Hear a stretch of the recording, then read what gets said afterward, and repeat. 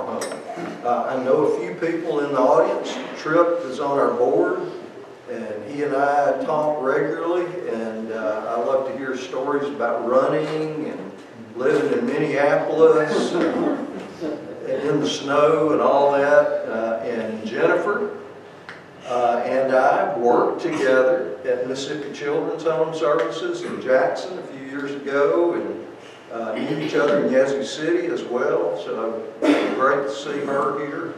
Uh, And my best critic and best supporter is here, Vicki, my wife.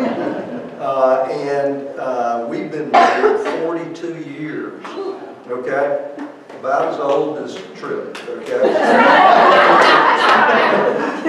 Um, I, I appreciate you coming out tonight. I, I thought I was supposed to announce which school I was signing with, though, you know. I- you know, That didn't go over well. To talk about marriage. Uh, I have been at this for about 40 years plus, uh, working on a marriage and working with other people's marriages. And, you know, what I found is it's a real struggle. I mean, it's really hard. I, I was reading C.S. Lewis uh, this afternoon and saw a quote from him. And that quote said this, that, you know, physical pain is one thing. Uh, you can look at it, you can see it, you can readily identify it, usually in other people. Uh, you know, if you get a cut or a scratch or a bruise or a broken arm, that's pretty evident. And, you know, those things are hard to bear. But according to Lewis, there's nothing like mental pain, uh, emotional pain. Uh, it, you know, it's really hard to bear because people sometimes can't observe it in you. And I have noted in my practice of marriage and family therapy, counseling through the years, that the most profound pain I've ever seen or in trouble is in troubled marriage. It's terrible. You know, it, it's profound. And so what I'm here to do is to try to help us with this. And that's my prayer, that God would use the next four weeks and the content of these lessons to assist you in your marriage. Uh, and, you know, it always helps me to go back to the initial foundation for marriage. You know, there's a lot of, a lot of confusion in the world today about what marriage should look like, what partnership should look like, uh, and I mean, real confusion about it. And here's the thing if you don't start with the right idea, you're going to go awry. Uh, there's a story about uh, Henry Ford. Uh, he was driving along and he sees this Henry Ford, Ford Motor Company, invented the automobiles and stuff. He's driving along and he sees this fellow on the side of the road and kicking his car and hitting it and tried all these different things. And old Henry Ford just pulls over, makes one adjustment on the car and it starts running right. And the guy was amazed. He said, how did you know how to do that? And he said, well, I invented it. You know, I'm Mr. Ford. You have a Ford, Model T or whatever, you know. So anyway, uh, you know, it's amazing how we don't go to the source initially. And I, can I tell you a bad story about myself? Maybe more than one time. Uh, I didn't look at the directions in putting something together. Have you ever experienced that? You know, one of the worst was a Barbie dream house. Oh, and, and my brothers and I, we're, we're all geniuses, you know. We, we got together and my little sister got a Barbie dream house all night long. We worked on that thing prior to Christmas morning to try to put it together. We never once looked at the direction. And, and that was a very odd looking Barbie dream house. Another time I was trying to put a bookcase together. And that should be simple. You know, go to Walmart, buy the bookcase, screw it together. You know, no, I messed that one up. You know, and, and Vicki, my wife's very sweet and very perceptive. And she walks in and she says, uh, I was, you know, angry and upset. And so, you know, I couldn't get it together. And she says, well, have you looked at the directions? Well, I don't, you know, I don't need directions. You know, but that's, that's exactly what I've run into in marriage and family therapy, is that people really don't have an idea at all about how it's supposed to look, what it's supposed to look like. That is Genesis, where God brings Eve into Adam's life, and we're going to talk about that, but there's some principles there that are sort of universal abiding principles for marriage that if you ignore, it's to your detriment. Your marriage is not going to work right. And I would say probably every marital problem one shape, fashion, or form that I've ever dealt with in counseling fits into one of these four principles that we're going to look at from Genesis. Uh, they're a big deal. They form the foundation for good marriage. So uh, let's let's look at Genesis. If any, any of you bring a Bible, I would recommend it as we move forward. Um, here we go. Whoop! Whoa! How did I get that far along? Somebody help me back up. Here we go. Okay. Uh, in Genesis chapter 2, who remembers what happens here in Genesis chapter 2 with Adam? Do you remember? What, what, what went on there? God made stuff. What? God made stuff. Okay, God had made stuff in chapter 1, and in chapter 2 he talks about it a little bit. But then he talks about for Adam, okay? God created marriage. That's basically what's in view in Genesis chapter 2, verses 12 through 25. Okay? Let's read, let, I'm going to read to you. So tune in for a few seconds, and then we're going to talk about it. Then the Lord God said, It is not good that the man should be alone. I will make a helper for him. So out of the ground the Lord God formed every beast of the field, every bird of the heavens, and brought them to the man to see what he would call them. And whatever the man called every living creature, that was its name. So what's happening here? What's God doing with Adam at this point? What's he? Basically putting him in charge of naming all, the- all the of the earth that God Exactly. That, that's it. You're right on target. So, you know, up struts zebra.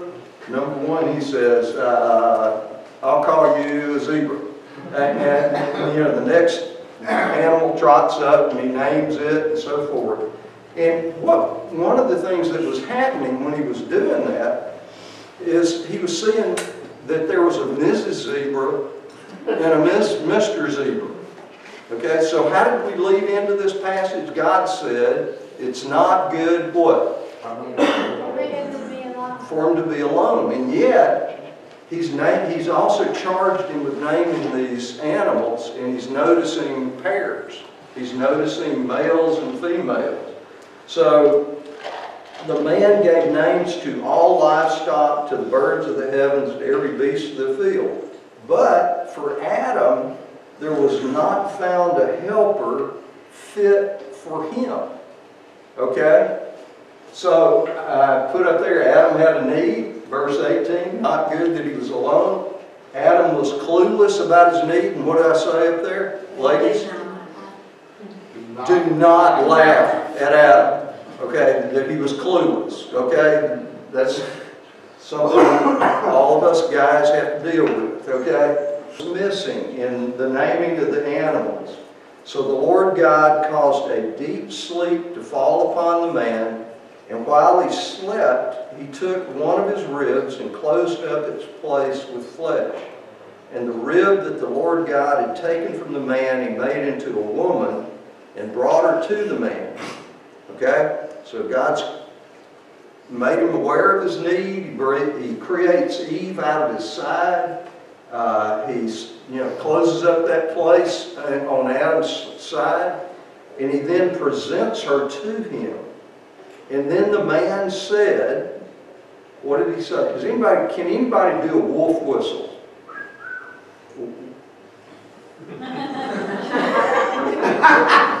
That's exactly what happened. Okay? It's along those lines. The, the Hebrew here is, it sounds, in English, it sounds kind of flat. You know, this is now bone of my bone, this is at last bone of my bone, flesh of my flesh. You can read that in sort of a matter-of-fact way, but the Hebrew there really has emphasis back up. It has punch back up. It's like, wow, at last, you've brought her to me. You've given me what I need. I'm not alone anymore. So, it's, you know, there's this deep well psychologically that God is filling, spiritually, that He's filling with that. So, you know, He is knocked out by her. It, it's not just a matter-of-fact statement that He's making. She shall be called woman or Isha because she was taken out of man, Ish. Okay?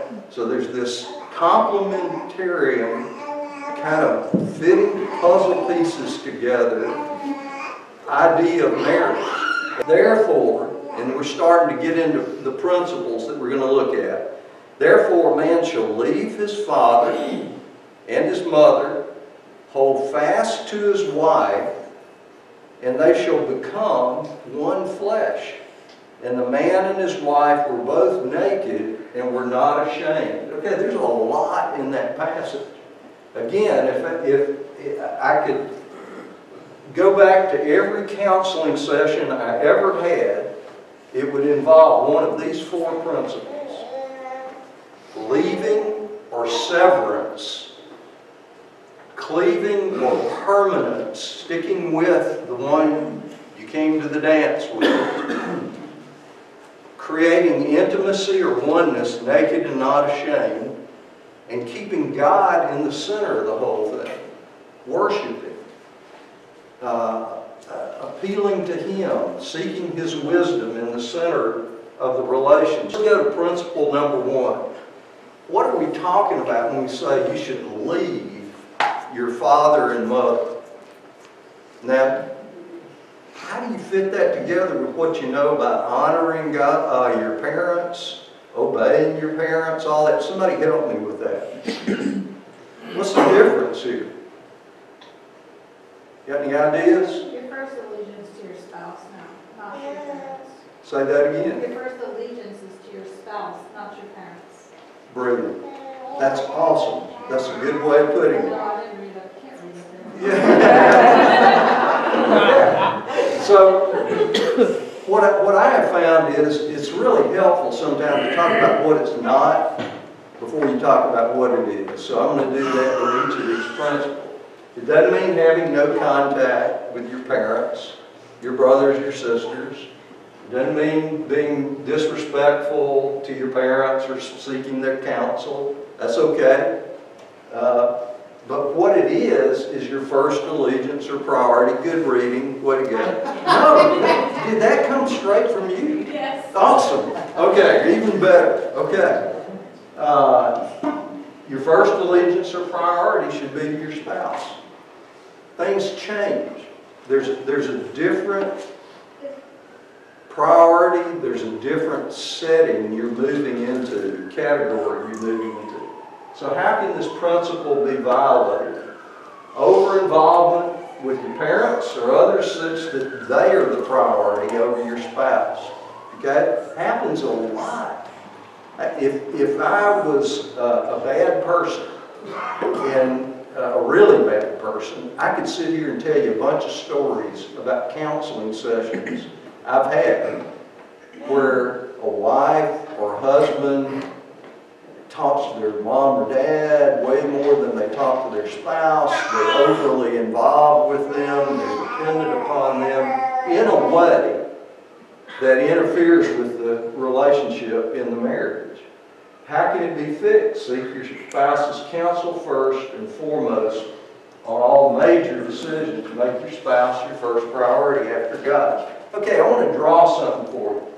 Let me tell you what happens that messes this up. Uh, and it, it, this is one side of the coin, leaving or severance, we're going to look at in just a second. The sticking to the person.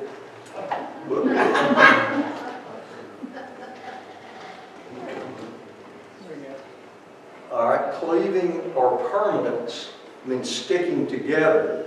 But here's what happens. When people don't get along with each other in a marriage, do they go to each other as a tendency to solve the problem? What can happen?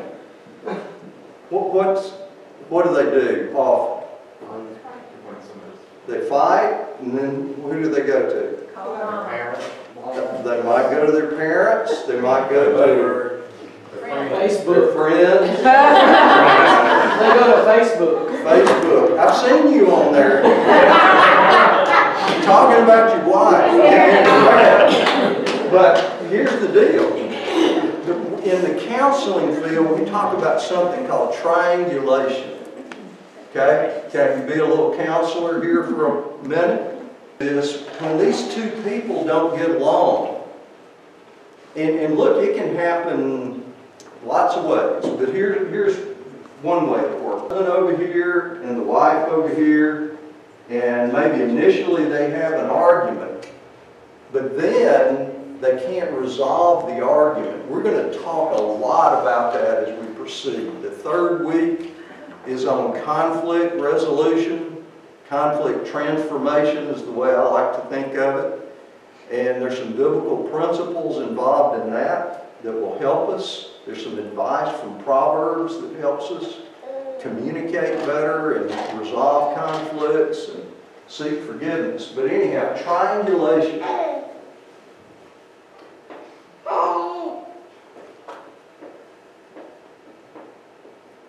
You're not getting along, okay? And so instead of trying to continue to work it out, a third person or a third something is drawn into the conflict. And look, it can take many shapes and forms. It could be an affair. You know, I can't work it out here, so I'll go to somebody who's sympathetic to me. And it happens.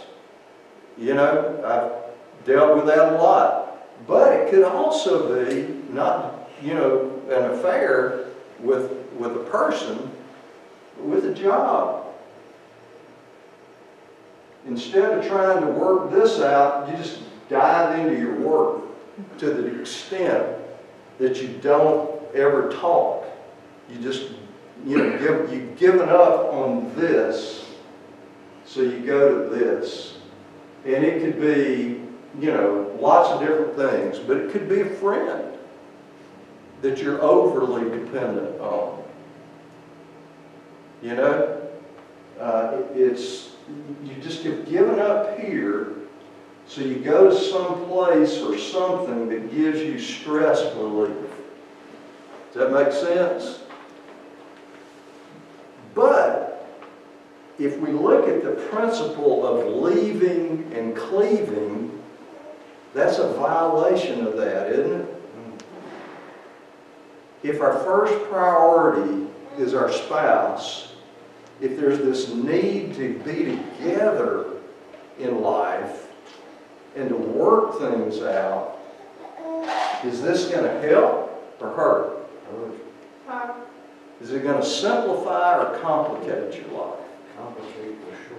I've got a good buddy, one of my spiritual mentors, and he told me this a long time ago. And I look, there, there's some just sort of simple principles for life. I'm thankful for that because I'm not as smart as I would like to be, and I like simple truth. And this simple truth is sin complicates life. Sin complicates life. It it never makes it easier. It always messes things up in a way that interferes with our relationship with God and our relationship with others, including our spouse. But there is this natural tendency. Have you ever gotten mad at work? You ever gotten upset about a decision that was made at work or whatever? And you, you know, you didn't think your boss was being fair to you, you didn't think HR was being fair to you, you, you know, whatever. There is this natural, sinful tendency but it's very natural on an emotional, psychological level to seek a sympathetic ear. You want somebody to agree with you. And look, you may be right. You may be absolutely 100% on target in terms of justice, rightness, or whatever. But again, if you go to somebody else out here that has nothing to do, let's, let's do it for work. You're mad at your boss. I mean, your boss. You, your boss. You're mad at your boss, but you don't want to go to him with the problem because you're scared of your boss or you're afraid there are going to be some negative consequences. So who do you go to? Some coworker up here. Okay? And you commiserate with the coworker. You triangle them in to this conflict.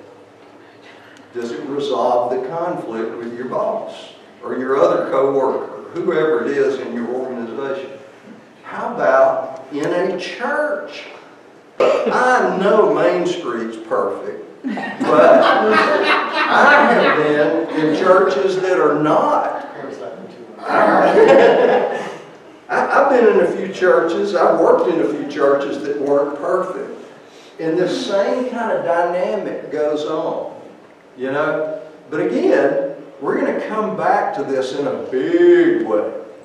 And I hope I don't run you off by saying that. I'm really hopeful that we can look at the scripture and we can look at how we operate and learn better ways of doing it, it by God's grace. Why can't you just go to the person you're having a problem with? Mm-hmm. That You, will solve it. you are exactly right. And you get an A for tonight, okay? You're gonna get a gold star. That's exactly right. You can't, you, that, you can't solve the problem with somebody outside of the conflict, can you? Now, they may come in and help mediate it, you know, so you don't get too upset or whatever, and kind of help as an objective translator of what each other's saying and all that. But generally speaking, triangulation isn't a very good idea, is it? Doesn't work. It doesn't work. And you know what the Bible would call it? It's, you know, you've heard of ADHD and, you know, all these diagnoses that people like me have made on people. It's called the S-I-N problem, okay? Yes, you might, you have S-I-N in your life if you are doing that. That's not the way to resolve the conflict. In fact, again, we'll go back to this in depth in session three, because we're going to look at Proverbs, we're going to look at passages like Ephesians 4.32, talks about forgiving others as Christ has forgiven us. How do you do that practically? I'm going to break it down into the sequence and help us look at that. But at any rate, the first places marriages often mess up is in that principle one of leaving and not cleaving. Do you know what cleaving means, by the way? Cleaver, cutting things in half. It's not that. It's actually just the opposite of that. So when the Bible talks about cleaving, you shall cleave to your wife, it means to stick like glue. That's a pretty good, Todd, wouldn't you say, translation of the Hebrew there? Uh, approximation of the Hebrew. Stick like glue to that spouse. Now look, can, can I make another confession? I'm going to make confessions all along the way. When I married sweet little Vicky Hartzog, I was not sweet myself. And, you know, she had to put up with a lot. Sometimes I even had to put up with a little from her, okay? It, it, was like Germany and Ireland coming together, you know, boom, boom. And so, you know, I'm from an Irish background, you know, my mom was an O'Kelly, and we're, you know, we're all that. And sort of proud of our tempers, you know, and that kind of thing. And, and, you know, she, she was from good German stock, you know, and they're, they're not perfect, they're not. So anyhow, you know, we both had to learn, we've had to learn, we still are learning how to live with each other and follow these principles.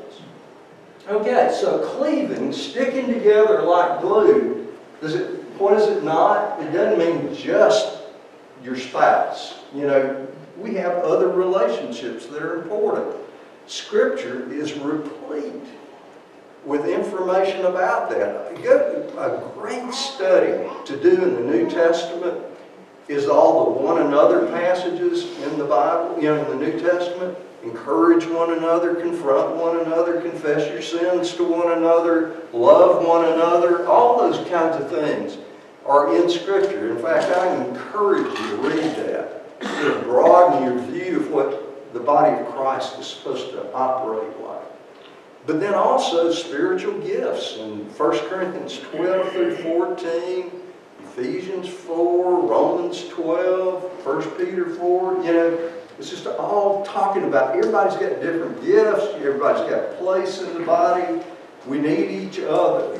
So, you know, what this is not saying is that you only want to spend time with your spouse.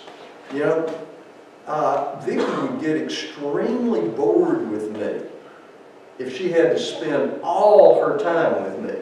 And she likes me, but she'd get real tired of that. You know, she needs other people in her life. So it's not that, but what it is, is sticking close, sticking like glue to your spouse as a permanent marital partner. Another thing I've run into as a therapist, working with couples who have trouble, there's a lot of people enter marriage with an escape hatch mentality. They really think, you know what, I'm going to do this, but you know, I mean, if two years down the road things don't work out, you know, I'm out of here. You know, I'm going to hit the eject button and I'm going to fly away. Uh, and if you start like that, if you start with that premise, you're not going to stick like glue together, are you? You want to allow yourself that. And look, there are all kind of reasons people do that. You know, maybe they've been in a home where there's been multiple divorces. They were raised in that kind of environment. Uh, they're scared of commitment. There, there are all kind of reasons that flow into this. But this is a huge deal. It's a huge deal to stick close to your marital partner. Uh, you know, there, there's a book, and I was trying to find it this afternoon, called The Blending of Souls. And, that's really a good descriptor of a good marriage. It doesn't mean you merge totally and lose yourself, but you really become more yourself in a good marriage. You come, become better. Um, my favorite book on marriage from a Christian point of view is Tim Keller's book, The Meaning of Marriage. Highly recommend it to you. But one of the things he talks about in that book, and we'll hit on it a little bit later, I've actually got some quotes from Keller in one of the later lessons. But the central problem in marriage is self-centeredness. Because it's our central problem. Individually, before God. We're all about us. Uh, I, I, how many of you remember the Pogo comic strip? That was a long, long time ago. But there's this, Pogo was this little cartoon character. And it, there's this famous cartoon of pogo, and he says, we have met the enemy and he is us. That's the problem, is that we're sinners. We're self-focused. We want self-fulfillment before others' fulfillment. And the only way out of that box, the only way we can escape that is through Christ. I mean, there is no other way. It's only through knowing Him and being equipped by Him to look at others differently that we can get out of that self-centeredness and that, that restricted way of looking at life. Unregenerate people can't do it. They don't have the wherewithal to do it. So the key really is this, knowing Christ. You can't leave appropriately, you can't cleave appropriately, because all you're going to be wrapped up in is how do I get ahead, how do I get what I want out of this relationship, how can I be fulfilled? That's what stirs your juices when you're not a believer. So, how can this principle of cleaving or permanence be violated? Not working to understand your spouse, uh, how your spouse gives and receives love. Uh, 1 Peter 3 says, live with your wife in an understanding way. Catch this, so that your prayers won't be hindered. Man, you, you, know, that's unreal. That means I've got to have, I've got to work on my relationship with Vicki. I've got to study her. I've got to know what her likes are, her needs, her desires, her, and that's what love is. Love is seeking the best interest of the other party. How do you know you're in love? When that's what you want. You know, I, I've done a lot of premarital counseling. And the typical answer I get is, you know, tell me why you want to get married. Well, I think she's hot. You know, I mean, I think she is really pretty. I think it's a great reason. We'll talk later. It's a good reason. Uh, you know, it's good to be attractive. But if that's the number one reason, or you want to marry her because your dad's rich, or you want to, you know, get ahead or whatever, those are not good reasons. That, that's not good. Okay? So, live with your wife in an understanding way. Learn who they are, what they like. This, this afternoon, right before we came, you know, uh, I was making sure every hair was in place and Vicki was, you know, putting on her lipstick and stuff. We're in the bathroom. and I start laughing. And it had to do with something that happened at work today. And she read my mind. Can you believe that? She is a mind reader. Be careful, folks. You know, and, and she, I started giggling and she said, I know exactly what you're thinking. You're, you're, you're thinking about your mom. And, and she was exactly right. You know, because in some ways I'm like my mom, in some not so good ways, you know, some devi- devious ways. You know, so anyway, she knows me. I know her. And but we've had to really work at it. And we didn't always we don't always get along. We get mad each other and stuff. You know, it's, bleh, you know. But we've hung in there for 42 years. And I intend to finish that way. Over involvement with one's children. You remember triangulation? Can your kid become such a focus, your daughter or your son, that you ignore your ignore your wife to the detriment of your relationship with your wife? Sure. You know, if things are not good here, just about anything or anybody up here will do at the top of the triangle. Okay? It's just the way it works. It's the way we function. Uh, over involved in one's children, friends, job, or other activities. It also includes not listening to. Great study in Proverbs is on listening. And we'll talk about this next week in communication. Spending time with or romancing your partner. Okay? Romancing your partner. Who said you have to quit dating when you get married? Caleb. Where'd you go to school? It's my three-year-old son. Okay, okay, okay. How can it be fixed? Give your best time, energy, and devotion to your spouse. It's real easy to mess it up. Look, I, Palmer Home, where I work, it is, we, and we live on campus. It never stops. I mean, literally never stops, twenty-four seven. You know, there, there could be two o'clock in the morning, some kid having a meltdown. Uh, it could be, you know, house parent worried about a kid or whatever. You know, it's going all the time. It's real easy to expend, you know, if you think about it, everybody's got an emotional tank. Okay, let's draw the tank right here. It's a big box, let's say. You have a finite energy tank. You start a day out hopefully nearly full if you slept pretty good. Maybe you didn't, you know, and but wherever it is, somewhere up here. As the day goes on, it just kind of drains out of there. In other words, lose it. Lose it, yes, absolutely. So, anyway, you run out of emotional energy. You know?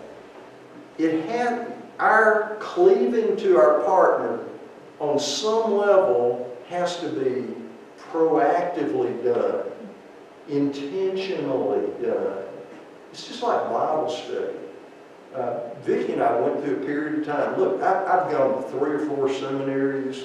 I've got a string of degrees from Christian schools and all that. I've studied the scripture. I've studied languages, you know, biblical languages, all that stuff, theology books. Sometimes I really would blow it on, in my personal devotional life. It just was hard for me. I didn't want to do it, you know, or want to sleep a little bit later, or, you know, see who'd signed with Mississippi State and Ole Miss, or, you know, expend all my energies in those directions.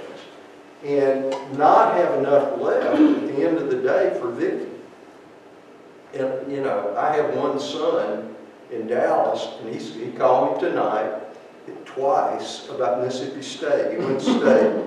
oh, I can't believe, blah, you know, they didn't get this guy, or they got that guy, or whatever, you know. And so he'll go on, and I can expend my time on ESPN or something else. Or Vicki can do it in a book, or watching a movie, or something like that.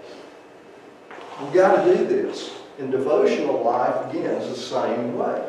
So anyhow, you know, what Vicki and I are doing now is Tim Keller's book, The Songs of Jesus. Takes a psalm or a half of a psalm or a third of a psalm every morning. We pray together about our day. It's a huge plus. And you know what it does for us? I mean, beyond the spiritual benefits, obvious spiritual benefits of looking in God's Word and praying together and, you know, lifting up our requests to Him. That's all good. That's all wonderful. But there's sort of this side benefit for us as a couple. I mean, it really benefits our marriage when we pray together, when we look into God's Word together. That cleaves us together in a way that nothing else does. Nothing. Okay, let's go on. Principle three, creating intimacy or oneness. When I got married, can I confess a sin to you again? Or a, a- a misperception of things? Okay. And, and my buddy, Jay Kessler, who used to be head of Youth for Christ International, drew this house plan.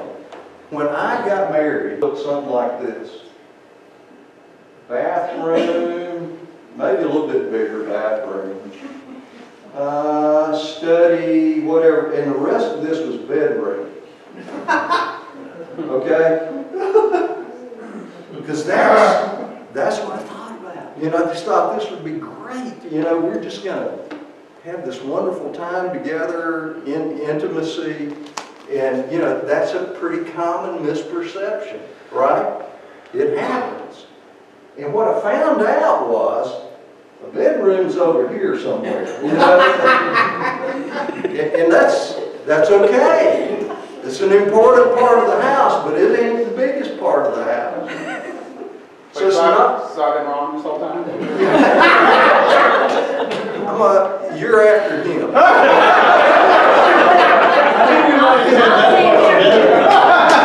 With him.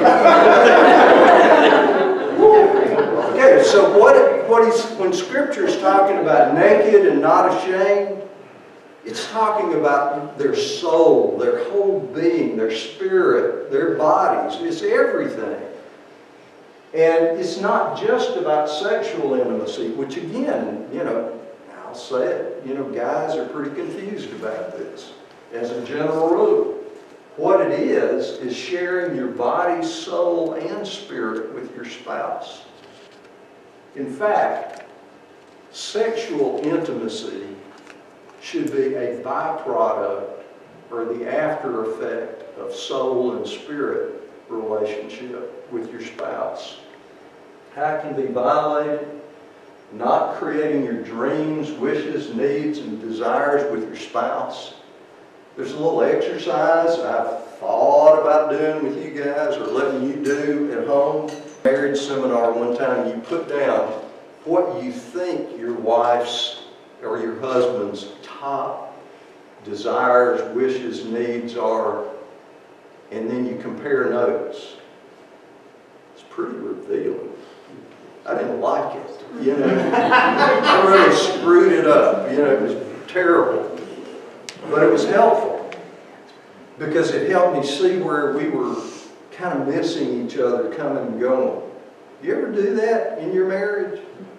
You think you're doing this? And, and look, I've had couples come in for counseling. And I'll say, you know, well, tell me about your relationship. You know, why are you here today? What's going on? And the wife usually is the more verbal party, not always. And she'll start enumerating all these things. And I'll say, well, you know, Bob or Jim or whoever it is, you know, tell me, you know, your impression of things. Well, you know, things are okay. You know, things are pretty good. I don't know, you know. But if she thinks she needs some help, help her, you know. And, and it's that kind of deal. So, you know, another, this principle is violated where people don't know each other. They live in the same house, they share the same bed, but they're two ships passing in the night. That's it. It's separate coexistence. That's tragic. It's horrible. Having extramarital affairs, we talked about thinking that you can have a deeper, more meaningful relationship with someone else. That's a lie. One of the best books I ever read on this was called The Myth of the Greener Grass.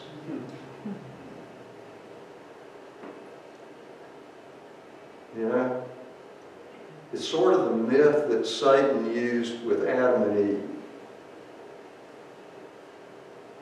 You know, has God forbid you to eat of this tree? Come on. He just doesn't want you to know what he knows. There's something better out there. There's something more. You know? How can be fixed? Make understanding your spouse a priority, Ephesians 5, and we'll look in more depth at Ephesians 5 in another session. List what you think your marital partner's top five needs are. Again, I challenge you to do that. Uh, spend 15 minutes, think about this, this is a good starting point.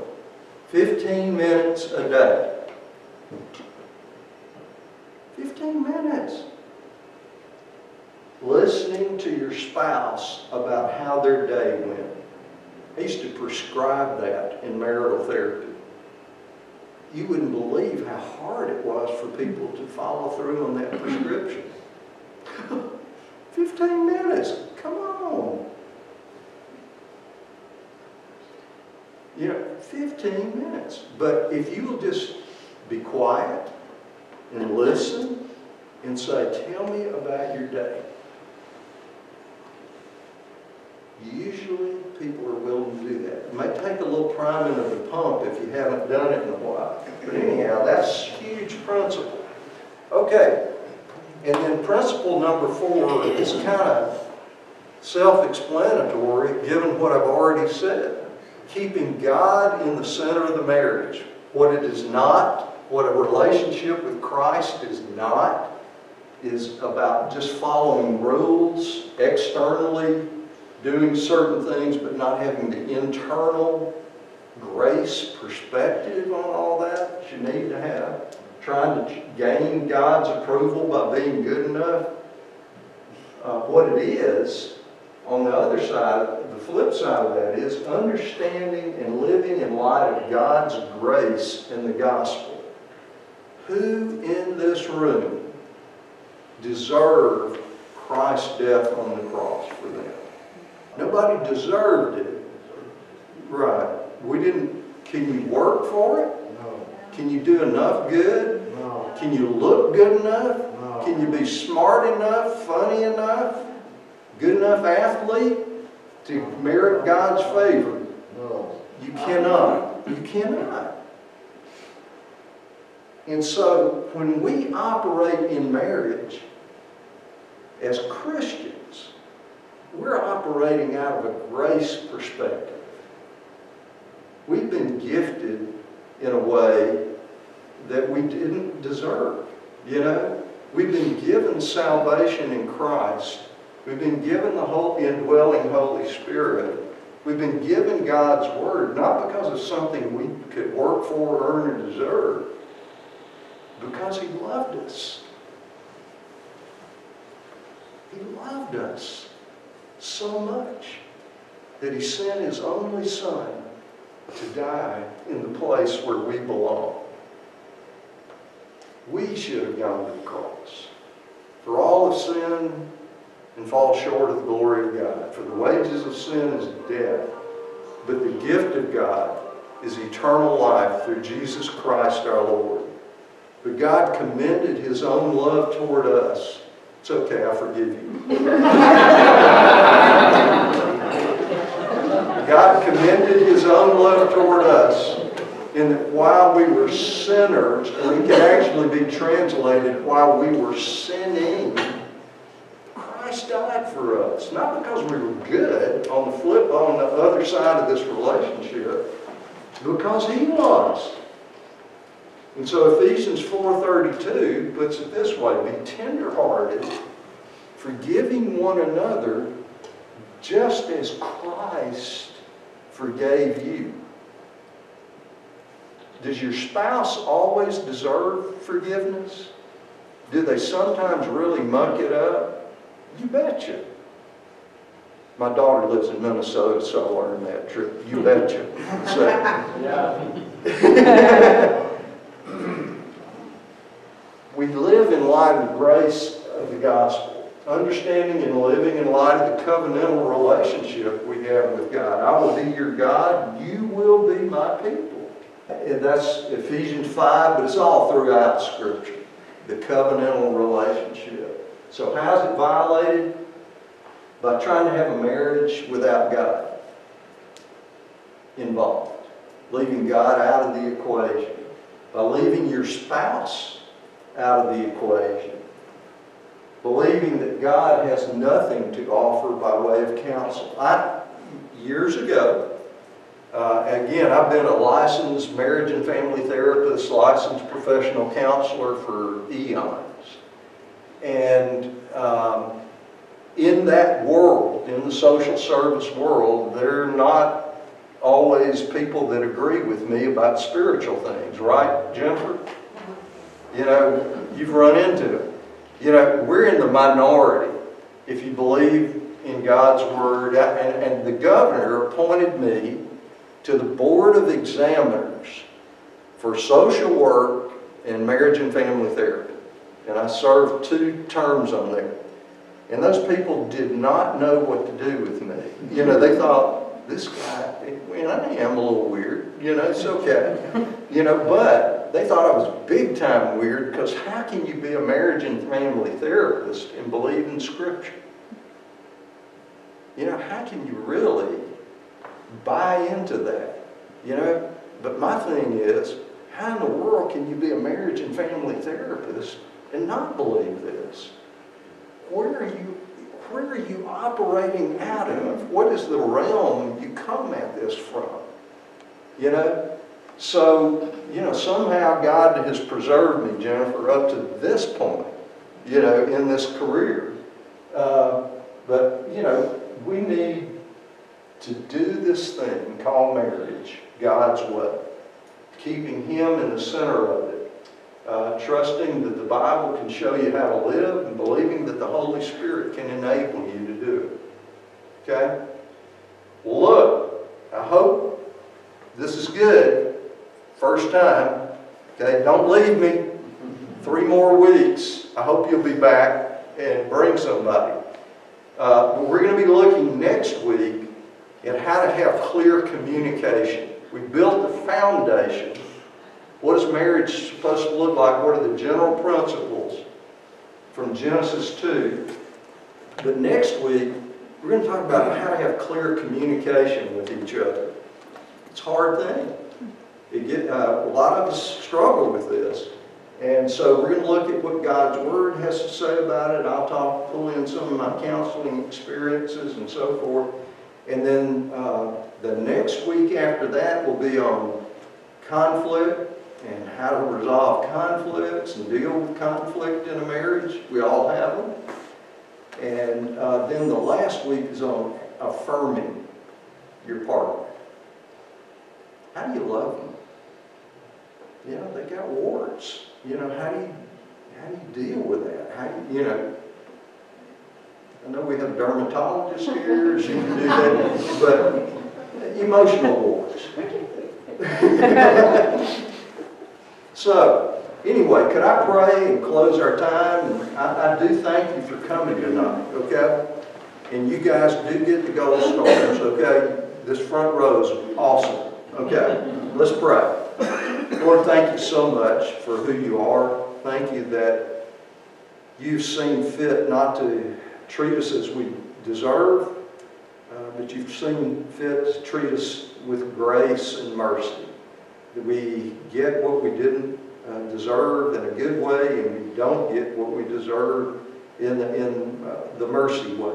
Lord, thank you for that. Thank you that you are gracious and good, and your intentions for us are good. Your instructions in Scripture are profitable for teaching, for reproof, for correction, for instruction in righteousness, even in this area of marriage that we struggle with from time to time. Lord, would you help us be the kind of image bearers in our marriage that a watching world looks at and says, I, I want to know their secret. I want to know how they do this in a way that I can't understand. Lord, would you, by your Spirit, do that thing in Christ's name? Amen.